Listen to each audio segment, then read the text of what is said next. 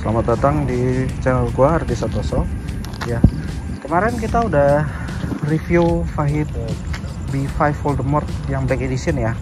Hari ini kita mau lihat outputnya gimana. Nah ini kita sudah tes, wis.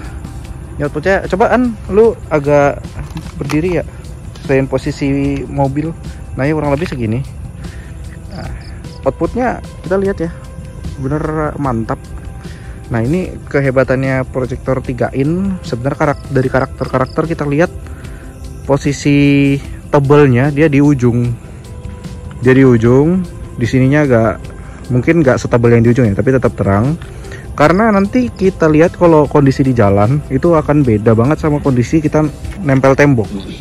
Mungkin kalau nempel tembok kita akan lihat itu kalau lebih tebal daripada yang di sini. Tapi kalau kita lihat udah posisinya kayak begini yang dari dekat sampai jauh itu kelihatan dengan jelas. Jadi nggak kebanting sama yang di bagian foregroundnya.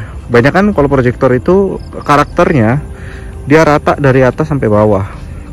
Jadi kita lihat itu posisi dekatnya aja tapi jauhnya kita hilang. Nggak kelihatan apa-apa. Ini cakep ini. Ujungnya tebal. Coba posisi agak turuninan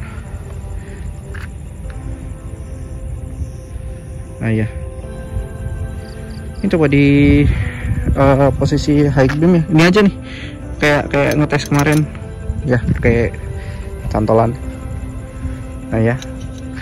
Nah ini kita ngetes nggak pakai kabel set. Jadi agak susah nih ya nah iya high beam ya segitu ya. High beam, coba high beam pantang. Ini high beam pantang. Nah, wah. Ngebuka dengan sempurna ya. Jadi nggak ada bagian yang hilang.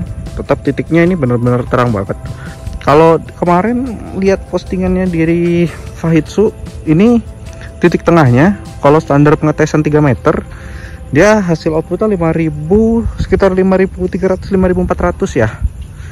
Itu titik tengahnya titik paling terangnya dia itu di situ. Coba higwima lagi. Wow ini sadis banget. Bengis inilah. Cukup bengis cukup bengis dia model foregroundnya foreground Doraemon. Ya yang belum tahu ini kayak kantong Doraemon bawahnya. Dari posisi proyektor ke jalan bisa lebih dekat juga. Ini enaknya daripada yang flat. Banyak kan yang flat dia e, matinya di sini dipotong jadi nggak nyampe bawah.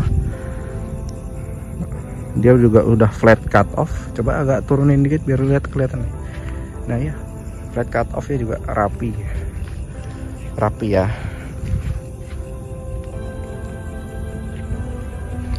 jadi gitu aja buat uh, kita ngetesnya sementara kayak gini aja. Ini baru satu proyektor kalau kalian beli dua ya berarti di sini ada lagi. Bayangin aja. Kalau dari gua gue suka sama karakter ini. Karakternya lebih kayak OM cuman bedanya kalau OM uh, eh, cut off berantakan kalau kita lebih rapi. Dan kita juga punya titik fokus yang lebih tebal tentunya ya. Oke sekian video dari saya Jangan lupa like, subscribe, dan komen. Thank you.